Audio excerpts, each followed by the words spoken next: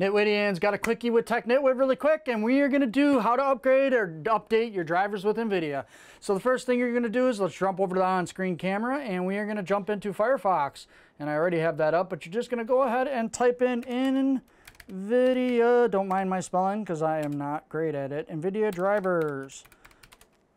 And click here, and the first thing that's going to show up is your product type. Then you're going to do product series you got a 30 series, 40 series, so I'm going to do 30 series. It's not a notebook.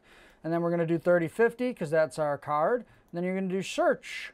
Then you're going to click download, download again. The driver's going to download. Once the driver's downloaded, you can go ahead and I've moved it to my desktop just so you can see it. But in Firefox or your other browsers, you're going to open your thing up and click it from here.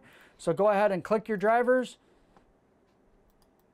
Hit yes, hit OK.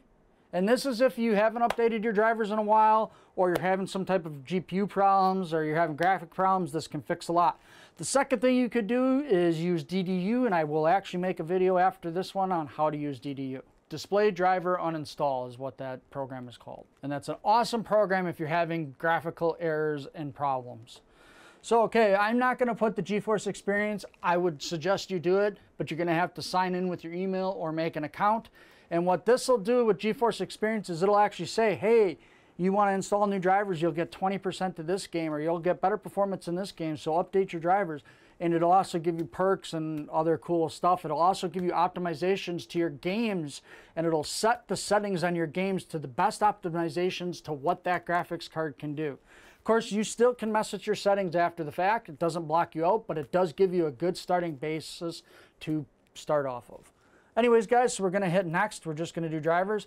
And I always do a clean install. So I do custom. You can do express if you just want to run right through it really quick. But I do custom. Hit next. And you're to do perform a clean install. Hit next. And it's to go ahead and do that.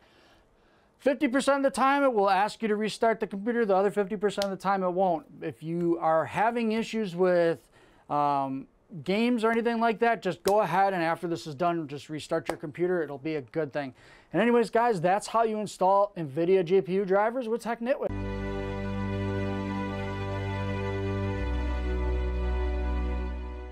Hey guys, it's TechNitWit here. Make sure you guys subscribe and like and hit that bell. Thanks.